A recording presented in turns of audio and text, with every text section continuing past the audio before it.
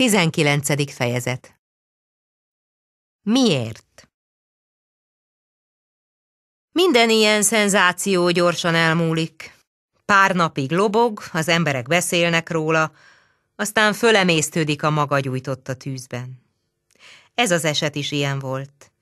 Eleinte lázasan vitatták a környéken, anélkül, hogy közelebb jutottak volna mi voltához. Viatoris fűszeres boltja valóságos kaszinóvá változott. A krisztinai úriasszonyok és cselédek a lúgköves hordók meg a babozsákok között naponta megtárgyalták. Mindenki azt kérdezte magától és másoktól, hogy miért történt. Erre azonban senki se tudott kielégítő választ adni, se magának, se másoknak. Az áldozatokat a társadalom nagy és osztatlan részvéte mellett temették el a sír mellé, melyben egyetlen kislányuk piroska nyugodott. Ezen a népes temetésen a rendőrségnek kellett föntartania a rendet. Utcagyerekek futottak a koporsók után, egymáson gázoltak át, hogy a koszorukból egy virágot tépjenek emlékül. A sírnál politikai jellegű beszédek hangzottak el. Megjelent több közéleti előkelőség, az a sok vendég, aki részt vett az estéjen, az elhunytak rokonai, a patikárius házaspár Egerből, csak Jancsi hiányzott, a sürgöny, úgy látszik, nem érte el. Ott volt azonban Vizi Etelka, Vizi Kornél elzüllött huga, aki hamisított egyiptomi cigarettákat szokott árulni. Zokogott a gyászfátyolában, hangosan siratva az ő bátyját, az ő nagy és hatalmas bátyját. Édes Annát a rendőrségen beismerő vallomása után letartóztatták. Új nyomatot vettek tőle, háromszor lefényképezték, aztán átkísérték az ügyészségre, a Margó utcai fogházba. Amint belépett ide, úgy tetszett, hogy rádőlnek a falak égigérő vasépületet látott, szürkésen derengő fényben, csupa vasajtóval, vaslépcsővel, mely dübörgött, mint valami gőzmalom, ahol folyton őrölnek. Foglárjai fölvezették a harmadik emeletre, becsukták egy cellába. Egy ágy volt itt, egy szék, egy asztal, meg a klozet, de a cella eléggé tiszta volt. Világosabb és valamivel nagyobb, mint az ő konyhája. Szinte el se hitte, hogy csak ilyen egy börtön. Azt hitte, hogy a börtönben almon fekszenek a rabok, s kígyók, békák szemei világítanak nekik a sötétben. Leült a székre. Nem sírt, de sokat töprengett. Este az ágya elé térdepelt és imádkozott. Maga a vizsgálóbíró, miután tüzetesen áttanulmányozta a rendőrségi jegyzőkönyveket, nem sokkal látott világosabban, mint azok, akik úton útfélen holmi mendemondák alapján beszéltek róla. Az ügyészség fontosnak tartotta, hogy ezt a szövevényes bűnügyet, melynek messze nyúló politikai mozzanatai is lehetnek, minden részében kibogozzák, főképp most a bolsevizmus bukása után, mikor még nem állott helyre teljesen a társadalmi rend. A vizsgálóbíró nagy buzgalommal látott hozzá. Ellenben minél tovább haladt, annál több olyan pont mutatkozott, melyet nem értett. Újra és újra zsákutcába került. Mindenek előtt tisztázni igyekezett a házmesterék szereplését. Ezeket a rendőrség előzetes letartóztatásba helyezte. Ficsórék égre-földre esküdöztek, hogy ártatlanok, de oly tűzzel, hogy a következő napokon már nem maradt egyéb mondókájuk. Védekezésük abban merült ki, hogy Annát befeketítették, alattomos, titkolódzó, mindenre képes leánynak állították be. Egyébként ellenük nem volt tárgyi bizonyíték. Viatoris kisinasa azt vallotta, hogy Ficsor csak ugyan elküldte, majd nem ingerülten szólt rá, hogy ne csöngessen, mert még alszanak. A nagy esté után a házmesternek ez a föltevése nem lehetett föltétlenül rossz hiszemű. Pár nap múlván a vizsgálóbíró szabadlábra helyezte őt is, a feleségét is. A vádlottat pedig minden nap maga elé vezettette. Mikor először jöttek érte, annak keresztet vetett, Istennek ajánlotta lelkét abban a hitben, hogy már is a vesztőhelyre viszik, és azonnal fölakasztják. Egy sovány, kopaszos úr elé állították, aki kényszenvedett nyakkendőjében, meltűt viselt, s a szőrös nagyujján arany karikagyűrűt. Anna az igazságe szorgalmas, szerényen díjazott hivatalnokát valami nagyon nagy, nagyon gazdag úrnak képzelte. Később látta, hogy nem rossz ember. Finoman, jó indulatúan beszélt vele, megszokta őt, már unta is, annyit faggatta. Elmondatta, hogy ekkor meg ekkor mit csinált, biztatta, hogy emlékezzék vissza, ez nehezen ment, erre a nagyságos úr, aki mindenre jobban emlékezett, segített neki. Már óráról órára, percről percre megállapították az utolsó napok történését. Anna a szemébe tekintett. Sem megtörtnek nem mutatkozott, se zavartnak. Semmit se tagadott, sőt, néha úgy rémlett, hogy egyenesen vádolja magát. A vizsgálóbíró kiegészítette a nyomozati adatokat, különösen esetleges bűntársaira vonatkozólag, de most már kizártnak látszott, hogy bűntársa is legyen. Az adatok összevágtak, a vádlott előtte se vallott egyebet, mint a rendőrségen. Csak arra a kérdésre nem tudott felelni, hogy miért követte. Sorra beidézték a ház összes lakóit. Druma vallomása esett leginkább latba. Ő a gyilkosság éjszakáján úgy kettő felé látta, hogy a leány a konyhakredencnél babrál, annál a fióknál, amelynél vallomása szerint kivette a kést, s azt is látta, hogy a vendégek eltávozása idején már a fürdőszobában settenkedett. Etel bőbeszédű, homályos vallomásában akadt egy figyelemre méltó mozzanat. Tavasszal, egy vasárnap délután, kirándult Annával a Gellért hegyre a citadellához. Anna lefeküdt a fűbe és elaludt. Pár perc múlva fölriadt, szaladni kezdett lefelé, karját lobálva és sikongva, mint valami bolond, nem tudták, hogy mi van vele, csak akkor állt meg, mikor rákiabált, akkor is sokáig reszketett még. Steffi viszont a gyilkosság előtt körülbelül két héttel a Márvány utcában találkozott vele, egyedül őgyelgett a ház előtt, ahol valamikor Jancsi úr filakott. Anna észrevette őt, de beszaladt a lépcsőházba, és amikor később megkérdezte tőle, hogy mit keresett ott, csak hebegett. Most sem tudott erre vonatkozólag pontosabb fölvilágosítást adni. A vizsgálóbíró idézést küldetett Patikárius János Bécsi címére. Bécsből a rendőrség azt felelte, hogy az illető ismeretlen helyre távozott. Egy lengyel táncosnővel lakott együtt, az azonban már föladta ötszobás lakását, elutazott Varsóba. Mindez nem tetszett fontosnak, tekintve, hogy Patikárius János több mint fél éve nem lakott Budapesten. Megidézték a vádlott szüleit is. Édes István bátyja hajnalban szállt le a vonatról, kezében egy batyuval, meg két pár csirkével. Utána piros bőrpapucsban egy takarosnál a jóval fiatalabb parasztasszony ment, egyenes gerincsel, keményen, a második felesége. Az nem vitt semmit. Mint hogy még korán volt, s nem ismerték ki magukat ebben a nagyvárosban, a vérmezőnél megtudakolták, merre van viziék háza. Ott letelepettek a lépcsőre, megvárták, míg drumáék fölébrednek. A tekintetes ügyvéd úrnak odaadták a két pár csirkét, tejfölt, friss túrót is hagytak a konyhában, mert hát jó az uraknak valamit dugni, ha a törvényel baj van. Druma megmagyarázta, hogy az írással hol kell jelentkezniük. A vizsgálóbíró őket is kihallgatta. Édes Anna apja kisé görnyet, soványbéres volt, már túl az ötvenen, de még nem őszült. Csak megkopott a szőkés haja, beporosodott az időtől, olyan lett, akár a törött szalma. Kalapját forgatva állt a vizsgálóbíró előtt, de folyton az élete párjára sandított az egyik hibás szemével, melyben alázat és ravasság tükröződött. Úgy látszott, hogy egyáltalán nincs meglepődve. A parasztot semmi se lepi meg.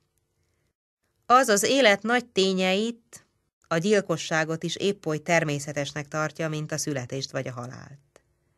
Ezt az öreg cseléd igyekezett elpalástolni. Hangját túlontúl nyekergővé változtatta, siralmasan, nyöszörögve beszélt, mint az, aki a halotti torona rigmusokat kántálja. Elmondta, hogy a második asszonyt négy évvel ezelőtt vette feleségül, meg hogy a lánya, az ő rossz lánya, az ő gonosz lánya mindig ilyen volt. Engedetlen és szófogadatlan, otthon is sok bajt csinált, azért küldték szolgálni Pestre. A mostoha, dolgos, tiszta, gusztusos menyecske bólongatott. Ő még többet tudott. Rémüldözve mesélte el a vizsgálóbíró felé hajolva, hogy az Anna egyszer majdnem hozzávágta a sarlót, talán őt is megöli, ha az apja közben nem veti magát. Pörgött a nyelve, beszélt, beszélt fáradhatatlanul a töretlen erejében.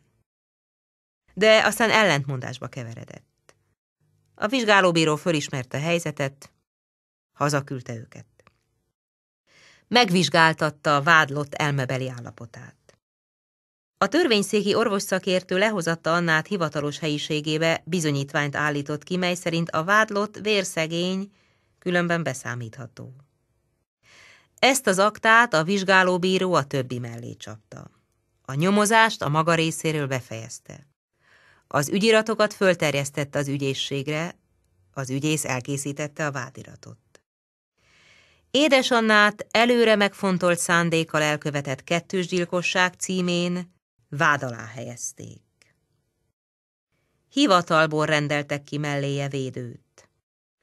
A kis kezdő ügyvédke, akinek eddig csak egy hagyatéki tárgyalása volt meg egy lakáspöre, belemélyedt az ügybe, ezzel akarta megalapozni kriminalista karrierjét. Védencét sokszor meglátogatta a cellájában, vigasztalta, hogy ne essék kétségbe, majd ő eligazítja. Anna úgy beszélt vele, mint a rendőrtisztelés a vizsgálóbíróval. Később még fölkeresték a missziós nővérek is, akiknek kalapjáról kék fátyol lógott. Ezek bűnbánatra és töredelemre intették, vallásos füzeteket hagytak nála, melyekben a hit vigaszát találhatta. November közepén tartották meg a főtárgyalást, az érdeklődésre való tekintettel a törvényszék nagy termében. Sötét, hideg téli nap volt. A nagy teremben zölden lobogtak a gázlángok, erősen fűtöttek. Szolgák kiabálták a megidézettek neveit. Tizenegy tanút idéztek meg, hatot a vád, ötöt a védelem kérelmére. A terem emelkedő padsorait zsúfolásig megtöltötte a hallgatóság. Jobbára az áldozatok barátai, személyes ismerősei. Tatár Gábor a feleségével a hírlapírók padja mögött ült. Köszöngetett a tanúknak, akik lenn a székeken foglaltak helyet. Látni lehetett az Attila utca 238-as számú ház egész keresztmetszetét lakóival és cselédjeivel. Pont kilenc órakor bevonult a törvényszék. A főtárgyalási elnök meg a két bíró. Az elnök csöngetett. A főtárgyalást megnyitom. Tárgyalásra kerül édes Anna gyilkossági ügye. Hol a vádlott? Vezessék be, parancsolta egyik teremőrnek. Édes Annát már nyolc órakor lehozták a cellájából az alapsoron át. Egy szobában várt türelmesen. Kinyílt az ajtó, és megjelent benne ő. A pepita ruhájában, mely már egészen elrongyolódott. Utána két fegyőr szuronyos puskával. Nem is ment, odaszédült a vádlottak padjához az elnök elé. A fegyőrök, akik mindig a sarkában voltak, megigazították, aztán haptákba vágták magukat. Anna sok embert látott fönn lenn, lámpákat, képeket, nagy meleget érzett. A félesztendős fogság testileg nem viselte meg. Arca kisé megtelt, mint a raboké, bőrét valami földszín sápadság márványozta. Nagy nyugalom árad belőle. Hogy hívják? kérdezte az elnök, s már is a referensbíróhoz fordult. Itt az anyakönyvi kivonata? Aztán ő maga felelgetett helyette. Húsz éves, hajadon, nincs gyermeke, nem volt büntetve. Üljön le, mondta, rá se tekintve. A vádlott leült, melléje két fegyőr, lába közé kapva a puskáját. Egy piros papírról olvasták a vádiratot, mely így kezdődött. Édes Anna, római katolikus, vagyontalan, magyar. Hosszú vádirat volt. A fölolvasása fél órát vett igénybe.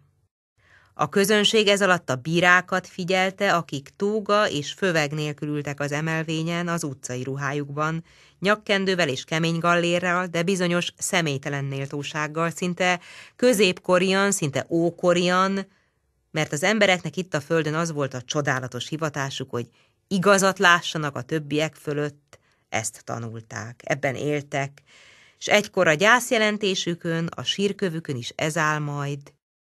Bíró. Az elnök lapozgatott egy könyvben. A referens bíró bajuszos, hosszú orrú ember, személy csiptetővel, ügyiratokat kötözött össze, a szavazóbíró, a legfiatalabb közülük, zömök vállas, felkönyökölt az asztalra, a jobb tenyerébe hajtotta a nagy súlyos fejét. Baloldalt az elnöktől egy emberke izget mozgott, a védő. Üdvözölte az apját, az anyját, a rokonait, akiket nagy számban csődített erre a tárgyalásra, hogy tanúi legyenek első nagy szereplésének. Az ügyész gondolataiba merült. Miután a vádirat fölolvasása véget ért, az elnök így szólt. Álljon föl, édesanna! Megértette a vádat? Emelt hangon beszélt hozzá, mint azokhoz, akik süketek vagy nem állnak a mi értelmi színvonalunkon. Magát az ügyész úr azzal vádolja, hogy meggyilkolta a gazdáit. Bűnösnek érzi magát? Bűnösnek érzem, felelte Anna. Az auditorium susogott. A referensbíró ránézett, a szavazóbíró pedig a másik tenyerébe hajtotta fejét. Hát akkor, folytatta az elnök már elbeszélő hangon, mondja el szépen, hogy történt, de részletesen. Figyelmeztetem, ha mindent beval, segít magán, ellenben, ha tagad, és itt ismét emelte hangját, csak árt magának, mert nekünk majd módunkban lesz mindent rábizonyítani. No, kezdje! Az ügyvéd integetett védencének, hogy kezdje, de annak a torkán egyetlen hang se akart fölszakadni. Erre az elnök a segítségére sietett. Szóval, ugye, maga a cselédjük volt már tíz hónapja szolgált viziéknél. Kezdjük talán ott, hogy maguknál 1920. május 28-án vendégség volt, az a nagy vendégség. Igyekezett népiesen beszélni. Azon a napon este felé dolgozott. Főztem. Helyes, bólintott az elnök, mint egy megdicsérve érte. Végezte háztartási teendőit. Jöttek a vendégek, maga nem szolgált ki az asztalnál, már régen megvacsoráztak, hajnali két óra lehetett. Hol volt akkor? A konyhában. Igen, ott volt. És már akkor ott motozott a kredencnél, húzigálta a fiókot, kereste a kést. Erre nem emlékszem, revegte Anna a védő felé, aki helyeselt. Majd a szemébe mondják. Aztán mit csinált? Aztán bementem a hálóba. Ne zavarjuk össze. Akkor még nem ment a hálóba, az később jön. Előbb indultak a vendégek. Maga ekkor a fürdőszobában ólálkodott, lesben állt, előre készült a tettére. Nem emlékszik, hogy Drumanadságos úr is betekintett oda? Nem. No, majd ezt is mindjárt megállapítjuk. Tanú van rá. Folytassa. Menjünk vissza oda, amikor kiszellőztetett, s az asszonya aludni küldte. Erre ahelyett, hogy lefeküdt volna, megvárta, míg elalszanak. Aztán bementem a hálóba. Még mindig nem ment be a hálóba, mondta az elnök az asztalra ütve. Anna egyik lábáról a másikra állt, előre-hátra topogott az időben, amely elmúlt, kábulat fogta el a nagy utazástól. Elakadt. A védő fölkelt. Méltóságos elnök úr, e tekintetes törvényszék, teljes tisztelettel indítványozom, szíveskedjék a vádlott elmebeli állapotának megállapítására egy hírneves pszichiátert ide rendeltetni, hogy itt a helyszínen ellenőrizze őt. Valomása annyira szakadozott, annyira összefüggéstelen és patológikus, hogy védői lelkiismeretem szerint teljesen beszámíthatatlannak kell tartanom. Az elnök halkan tanácskozott a bírákkal és közölte a határozatot. A törvényszék az indítványt elveti. Amint a védő úr is tudja, már több ízben megvizsgálták a szakértők, és beszámíthatónak jelentették ki. Különben is kérem, a végén méltóztassék összegezni indítványait. Tisztelettel Semmiségi okot jelentek be, szólt a védő. Az elnök újra visszavándorolt az időbe, tapogatózva haladt előre, kereste az igazságot a vádlottal együtt, vezette őt, noha ő maga sem látott még ebben a sötétben, és olykor arra várt, hogy majd a vádlott vezeti őt a pont felé, ahol egyszerre valami fény gyullad, mely érthetővé teszi az egészet. Mintha két összefogózott vakember ment volna az éjszakában, s az egyik vezetné a másikat, a vak a világtalant. Tehát, kezdte, próbáljon csak visszaemlékezni. Miért vette magához a kést? Mit érzett akkor? Anna hallgatott. Az elnök tolmácsolta az érzését, a kifejezhetetlen érzést, mint egy lefordítva értelmes emberi nyelvre. Azt érezte, hogy haragszik rájuk. Agyát hirtelenül elborította a vér, nem bírt uralkodni magán, eszébe jutott talán, hogy egyszer asszonya megszitta, bosszút akart állni. De miért? Megint neki kellett beszélni. És nem ébredt föl ekkora lelkiismerete? Nem szólalt meg magában a lélek? Nem gondolta meg, hogy mit cselekszik? Hogy ennek következménye is lesz, hogy ezért felelnie kell Isten és ember előtt? Hiszen maga régebben nem volt ilyen leány. Az elnök sejtette, hogy itt lehet valami.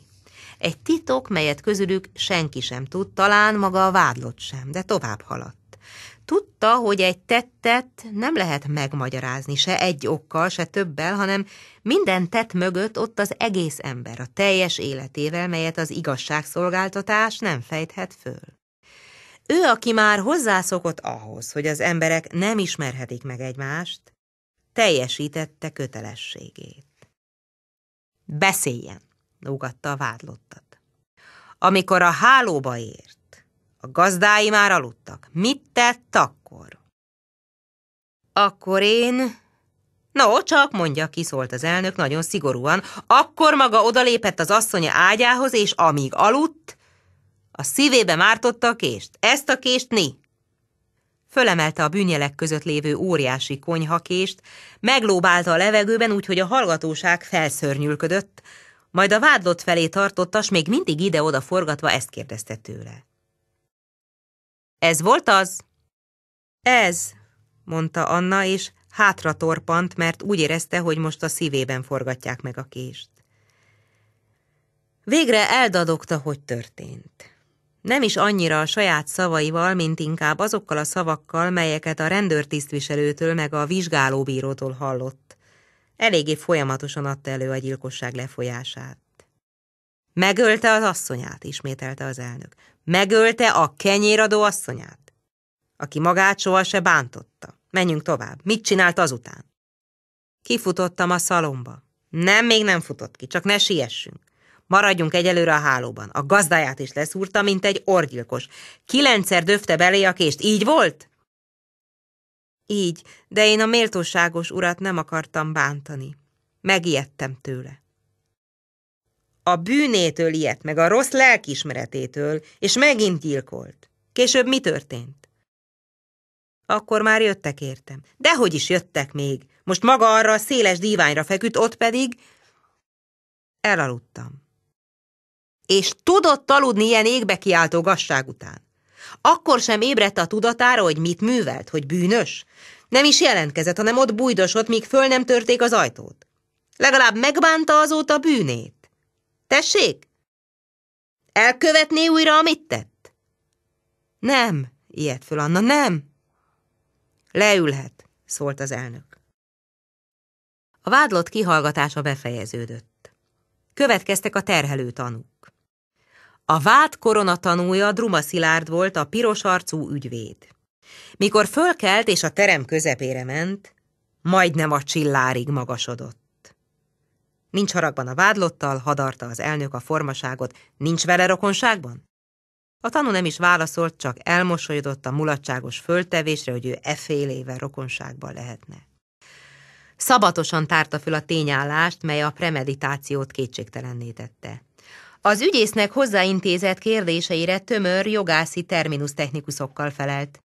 Kifejtette, hogy a leány izgatott viselkedése már este szemet szúrt neki, figyelni kezdte, Éjjel kettőkor a vádlott semmi más se kereshetett a fiókban, csak a kést, ezt nyilván elrejtette valahol, aztán mielőtt elment volna, még egyszer rajta ütött, akkor a vádlott a fürdőszobában leselkedett, még borravalót is akart neki adni, de az rémülten ugrott be a hálószobába.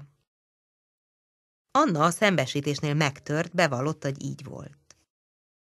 Druma még mindig nem fejezte be.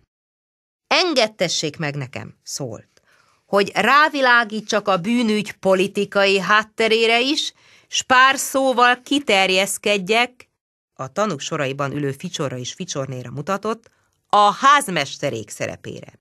Ezek az emberek, méltóságos elnök úr, a kommunizmus alatt oly vörös érzületről tettek tanúságot, hogy a házlakóit éjjel-nappal rettegésben tartották. Én a magam részéről minden okot fönforogni látok, hogy ők a tulajdonképpeni mozgatói és értelmi. Kérem, szakította félbe az elnök. A vizsgálat megindult ebben az irányban is, de negatív eredménnyel járt. Az ügyészség sem tett vádindítványt, szólt az ügyészre tekintve, aki rázta a fejét. Ez nem tartozik ide. Druma ott állt, elkezdett és be nem fejezett mondatán lógva a levegőben. Rövid vita indult meg az ügyész és védő közt. Az ügyész kérte a tanú megesketését, a védő viszont ellenezte. Drumától kivették az esküt. Ezért a védő újra semmiségi okot jelentett be. Szűcs Antal a sarki őrszem a helyszíni szemle megtörténte előtt fontos mozzanatokról számolt be, a bűnjelek elhelyezéséről és a vádlott közönyös viselkedéséről. Drumáné a leányt zárkózottnak tüntette föl, szóba hozta mellékesen a kisollója rejtélyes eltűnését is, magasztalta a viziéket, különösen a férfit. Moviszterné oldalt hasított szoknyájában jött ide, megsétáltatta új toalettjét, úgy kipingálva, mint egy színházi bemutatóra. Könnyed modorban társalgott, kacérkodott az ügyésszel. Szerinte a leány nem volt zárkózott, inkább jókedélyű, csodálkozott, hogy ilyesmire vetemedett, mert az asszonya maga volt az angyali jóság, szerette is őt. Sokat csevegett volna még, de kihallgatása sajnos véget ért. Ficsornak az elnök megemlítette, hogy mint a vádlott rokona megtagadhatja a vallomástételt, ő azonban vallani akart. Figyelmeztetem, szólt az elnök, hogy csak az igazságot vallja, mert vallomására esetleg esküt kell tennie, és a törvény a hamis esküt szigorúan bünteti, esetleg öt évig terjedő fegyházzal. A házmester, aki már megrőkönyödött Druma előbbi beszédétől, az öt évi fegyház hallatára még inkább menteni akarta bőrét. Elismételte mindazt, amit nyáron vallott, s amikor a kis ügyvéd kötözködött vele a vallomásának ingadozó voltát hangsúlyozva, elvesztett minden mértéket. Nem csak ezt mondotta, kérem, hanem mást is. Mikor egyszer összeszitta a méltósága, mert eltört egy tükröt, lejött hozzánk, és azt mondta, hogy elmegy innen, de előbb olyat csinál, hogy maga is megbánja. Fölgyújtja az egész házat. Mikor mondta ezt? kérdezte az ügyész. Nem sokára azután, hogy beállt a helyébe. Határozottan emlékszik erre? Határozottan. Gondolja meg jól. Meg mer rá esküdni? Meg, válaszolta ficsor komoly elszántsággal. A tanú esküdtett, aztán meghajolt az elnök előtt oly mélyen, hogy mélyebben meghajolni emberileg szinte lehetetlen is. Ficsorné lépett az emelvény elé. A hájas asszonyság reszketett, mint a kocsonya. Már szánta Annát, szerette volna védelmébe venni, de félt, hogy rácáfol előbbi vallomására. Hát maga mit tud ficsorni? kérdezte az elnök. Milyennek ismerte ezt a leányt? Kérném, mindig olyan gyanakvó volt. Mi az, hogy olyan gyanakvó? Olyan gyanús. Magának volt gyanús? Nekem meg mindenkinek. És miből vette ezt észre? Mindig spekulált. Úgy érti ezt, hogy valami rosszat forgatott a fejében? Nem. Hát hogy érti? Úgy, hogy mindig búsult. Maga azonban a vizsgálóbíró úr előtt egyebet vallott. Nézze, olvassa, azt vallotta, hogy valakit egyszer már meg akar gyilkolni. Igen, mikor az anyjába belevágta a sarlót. Látta ezt maga? Én nem láttam, csak hallottam. Kitől? Az anyjától. Az a mostohája. Hagyjuk ezt, legyintett az elnök kedvetlenül, hagyjuk. Én különben nem mondhatok rá semmit. Őt igen jó leány volt, de... De? De később rossz lett.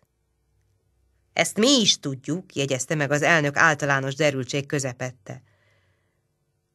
A cságos elnök úr önérzeteskedett Ficsorné, megsértődve bizonyos idétlen daccal, én csak azt mondhatom, amit tudok.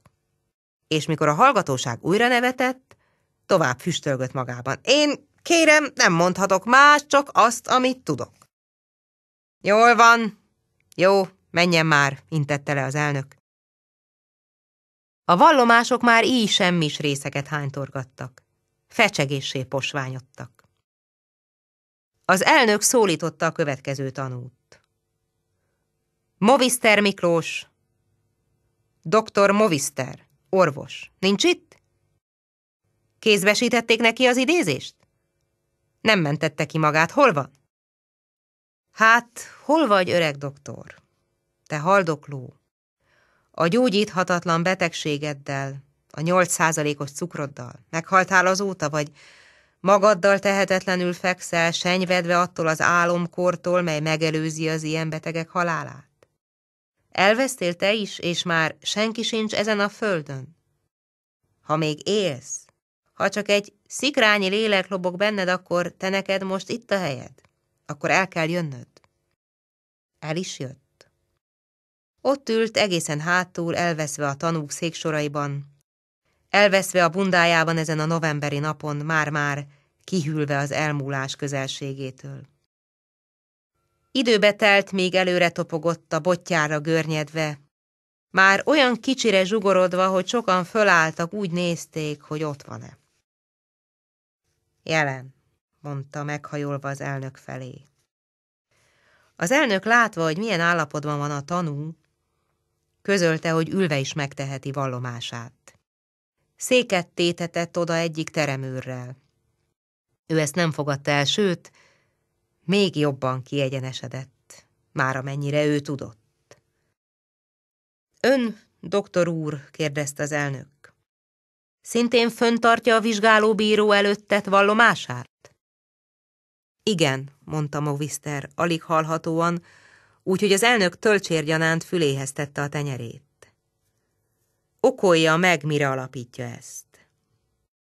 Movister gondolkozott, mint aki valami hosszú beszédre készül, bíztatta magát, mit késlekedsz, teljesíts kötelességed. Csak egy ember vagy, de hát mi több, mint egy ember. S két ember, s ezer ember nem több nála.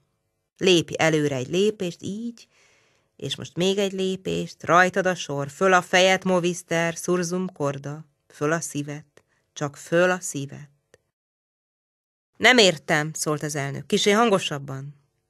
Mit kisé hangosabban? Nem kisé hangosabban, hanem nagyon hangosan. Kiálts! dobogott benne a lélek. Kiálts úgy, mint a te igazi rokonaid. Az őskeresztények hősi papjai, akik föllázadtak a pogányság ellen, és a temetőkben a koporsók mellől kiáltottak az égbe, pörölve a legnagyobb úrral is, az igazságos, de nagyon szigorú Istennel, irgalmat követeltek a gyarló embereknek. Hiszen te minden nap elmondod magadban a halott imát. Emlékszel, mi van benne? Ne tradas bestis animas confidentes tivi. Ne dobd oda a vadállatoknak a te benned bizakodó lelkeket. Et animas pauperorum tuorum ne oblivis caris infinem. És a te szegényeidnek lelkét ne feledd el végképp. Próbálj te is így kiabálni az arénán az oroszlánokat is túlharsogva, bátor katekumen. Hangja szilárdabbá vált. Teljes egészében föntartom vallomásomat. Csak azt tudnám ismételni, amit már elmondtam. Igen, szólt az elnök, egy aktaköteget lapozgatva. Ön így vallott. De tényeket kérünk. Verték? Éheztették? Agyon dolgoztatták? Nem fizették meg a bérét? Úgy látom itt, mondta gyorsan, hogy karácsonykor valami ajándékot is kapott, egy különben jelentéktelen ajándékot, egy jumpert. Tessék beszélni. Ridegen bántak vele, jelentette ki Movister erősebb hangon. Ez volt mindig az érzésem. Szeretet nélkül bántak vele, szívtelenül. És miben nyilvánult meg ez? Azt én nem tudnám pontosabban körülírni, de határozottan ez volt az érzésem. Akkor valóban csak érzések ezek, doktor úr? Sejtések, a féle finom árnyalatok, melyeket a törvényszék ilyen durva és szörnyű bűnténynél alig ha vehet figyelembe. Mert itt tények vannak az egyik oldalon. Véres tények. Mi is tényeket kérünk. Aztán a többi tanú egyebet val. Épp az ellenkezőjét, hogy szerették és megbecsülték. Maga a vádlott sem panaszkodott se a rendőrségen, se a vizsgálóbírónál. Álljon föl, szólt oda a vádlottnak. Bántalmazták magát? Nem. Leülhet. Ez egyébként se valószínű. Nézd most, Moviszter ezt a lányt. Mély tompultan ereszkedik le a fegyőrei közé. Nem kellemes látvány, de csak nézd meg jól. És nézd meg az elnököt is, aki megigazítja öreg kék szemén az olcsó pápa szemet, és vakarni kezdi a fülét, hogy ne is sejtsd, mi forog a fejében, mi zajlik a szívében. Ő csak a földi igazságszolgáltatás képviselője de igyekszik pártatlanul igazat látni, jobbra és balra tekinteni már amennyire lehetséges ez itten a világon.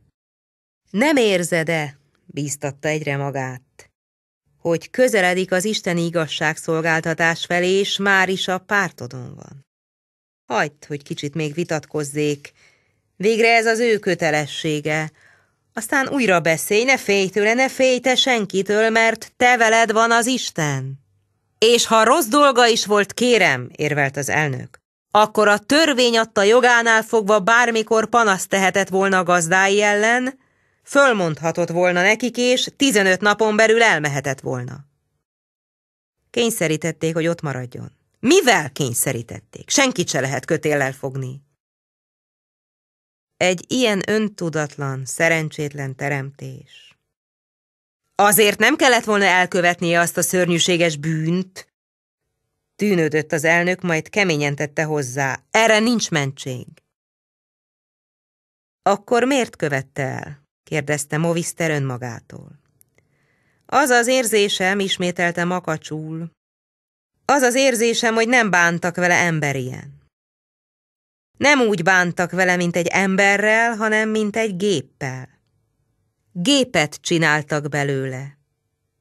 És kitört, majdnem kiabált.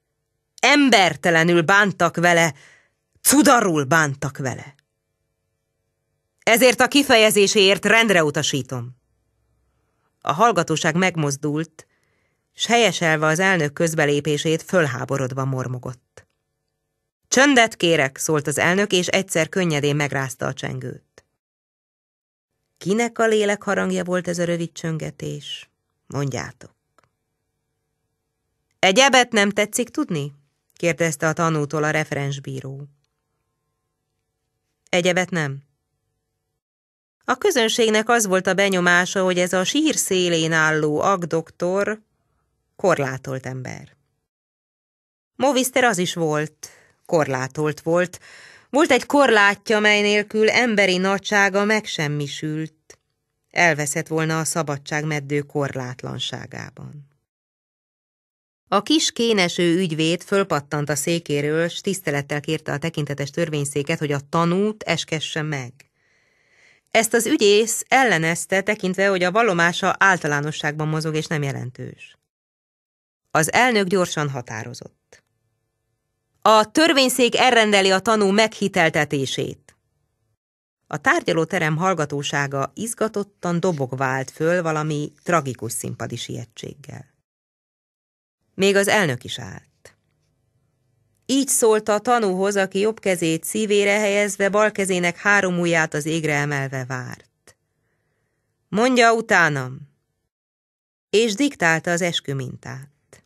Én esküszöm, a mindentudó és mindenlátó eleven Istenre, hogy az igazságot, csak az igazságot vallottam, abból semmit el nem hallgattam, ahhoz semmit hozzá nem tettem, az Isten engem úgy segéljen. Moviszter ezt is hangosan mondta. Az Isten engem úgy segéljen.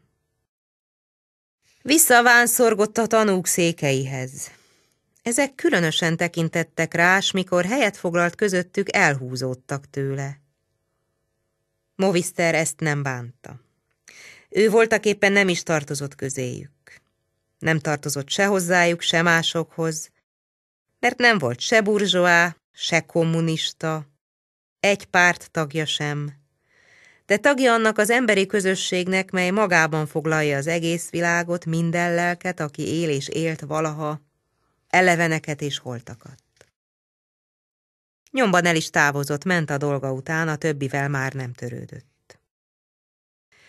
Még néhány mentő tanú vonult föl, Etel szakácsnésan kiöltözködve, és Steffi kalapban, ahogy egy volt grófi szobalány kisasszonyhoz illik.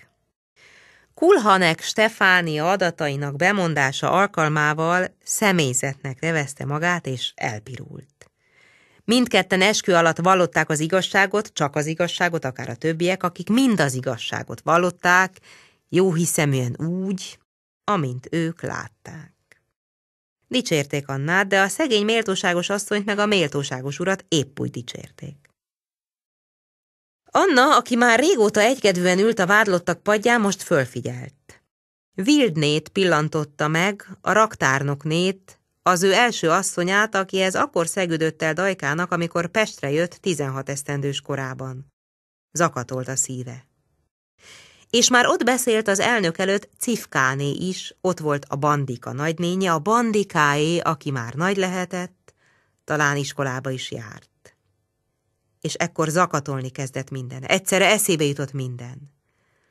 A tárgyalás elhúzódott. Az elnök gyorsította az ütemét, s hogy az ügyész megtette indítványait, és a védő bejelentette 27. semmiségi panaszát, a bizonyítási eljárást befejezetnek nyilvánította. Szünetet rendelt. Délután két órakor került sor a pörbeszédekre. Az ügyész hamar végzett. Föntartotta a vádiratban foglaltakat, mint hogy azok a tárgyalás során még inkább beigazolódtak, s bizonyos paragrafusokra, bekezdésekre hivatkozva példás büntetést kért. Annál hosszabb volt a védő. Ez a kis megindító mitugrász remekbe készült irodalmi védőbeszédekkel állt elő. Emberfeletti erőfeszítést fejtett ki, hogy védencét tisztára mossa, a kötelet, melyet a vádlott meg a terhelő tanúk nyakára hurkoltak, bogonként föloldozza. Túlbuzgósága nevetségesnek tetszett. Ő észokokkal próbálta plauzibilissé tenni, hogy a vádlott tettét önkívületben követte el, s önvédelemből gyilkolta meg gazdáit. Egy regényírót megszégyenítő részletességgel tárta föl előéletét, gyermekéveit. Azt hajtogatta, hogy inkább meneküljön száz bűnös, mint hogy egyetlen ártatlan bűnhődjék. Mindig azt hitték, hogy befejezi de csak akkor kezdte. Most pedig, mondotta, miután vizet ivott, nézzük tekintetes törvényszék a lélektani okokat. A lélektant nézzük tekintetes törvényszék a lélektani tényeket. Tekintsenek kérem erre a falusi leányra, a nép egyszerű gyermekére, és mielőtt ítéletet hoznak, kérdezzék meg tulajdon lelkiismeretüktől, hogy az, aki itt ül a vádlottak padján, vajon valóban az a homo delikvente-e, az a bűnöző típus, akiről Lombrózó beszél. Erre már senki sem figyelt. Folytonosan csapodott az ajtó, a hallgatóság elcsigázva a hosszú tárgyalástól, a tűrhetetlen melegtől szögdösött, csak az újságírók maradtak ott röhögni, meg a védő hozzátartozói rokoni kötelességből. Druma a sötét folyosón egy cigarettázó csoportnak a vád motívumait mérlegelte, s nem kételkedett, hogy az ítélet csak kötél általi halál lehet. Amikor a hallgatók visszaszállingóztak a tárgyalóterembe, a védő még mindig beszélt. Pierre Jané lélekkortani könyveiből olvasott fel hosszú idézeteket. Az elnök az óráját nézte, a referensbíró már az ítélet szövegét vázolta föl egy darab papírra. Végre a szónok rászánta magát. Elővette az utolsó, leghatásosabb mondatokat, s olyan költői lendülettel, mely a türelmetleneket bosszúsággal, a hozzáértőket őszinte lenézéssel töltötte meg, Madács remek művéből az ember tragédiájából merített idézettel befejezte beszédét. A törvényszék ítélethozatalra vonult vissza. Közben megerett a havas eső. Sokan, akik ernyő nélkül jöttek, azon gondolkoztak, hogy kerülnek majd haza. Háromnegyed óra múlva az elnök meg a bírák szinte szaladva léptek a dobogóra. A vádlott még nem volt ott. Hozzák, intézkedett az elnök, s a mennyezetre tekintett kezében az ítélettel. Zörögtek a fegyverek.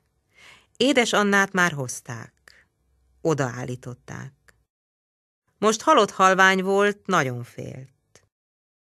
A haláltól félt, a kötéltől, s nyelt, folyton nyelt, mozgott a torka. Kihirdetem a törvényszég ítéletét. A magyar állam nevében a padok megint dübörögtek. Csak szófoszlányokat lehetett hallani az ítéletből. Bűnösnek mondta ki, és ezért özbüntetésül 15 évi fegyházra, politikai jogainak elvesztésére. Tizenöt, adták tovább meglepődve. Tizenöt. S legtöbben emberi megindultságot éreztek, mert az ítéletet igazságosnak tartották. Néhány nő könnyezett is. Az ügyvéd rokonaira pillantott diadalmasan. Meg volt győződve, hogy ebben neki is, Pierre Zsánének is van némi része. Az indoklásban azt foglaltatott, hogy a törvényszék súlyosbító oknak vette azt a kegyetlenséget, melyel a vádlott a gyilkosságot elkövette, de enyhítő körülménynek kellett venni a vádlott büntetlen előéletét, töredelmes beismerését és az együgyűséggel határos műveletlenségét. Megértette? kérdezte tőle az elnök a régi erős hangján. Magát a törvényszék 15 évi fegyházra ítélte. Jogában van föllebbezni. Ügyvéd és ügyész egymás szavába vágva föllebbezett. De ekkor a hallgatóság már elhagyta a termet. Édes Anna úgy szólván egyedül maradt a bíráival. Vigyék, mondta az elnök csöndesen a fegyőröknek. Pár nap múlva átszállították a gyűjtőfogházba. Itt várta meg a királyi tábla ítéletét, melyet tavasszal hoztak meg, és a kúria ítéletét, melyet egy év múlva karácsonytáján hirdettek ki. Mind a két föllebbviteli fórum helyben hagyta a törvényszék ítéletét. Ezeket az újságok már nem is közölték. Annyira nem érdekelte már az embereket. Édes Annát egy szigorú januári napon két fegyőr a vonatra tette, elkísérte Mária Nosztrára. A fegyház kapuja becsapódott mögötte. Itt törzskönyvezték, megnyírták, megfürdették, számot kapott, darócruhát, megkezdte fegyenc életét. A Krisztina városban néha-néha még beszéltek róla, egyre ritkábban. Egy asszony állt meg egyszer az Attila utcai ház előtt, és így szólt az urához. Itt lakott. Nem emlékszel rá? Olyan magas leány volt, erős, fekete szemű, nagy kezekkel. Csúnya volt, mondta a férfi. Elég szép volt, szólt az asszony. Szép volt. Amikor a románok itt táboroztak, egy román katona volt a szeretője. Így homályosodott el az emléke. Most már senki nem tud róla, hogy kicsoda volt. Egészen elfelejtették. És ha nem élt volna még a Mária Nosztrai női fegyintézetben, hanem ott pihent volna valahol Dunántúl a Balaton főkajári temető akácai alatt, akkor se semmisülhetett volna meg jobban.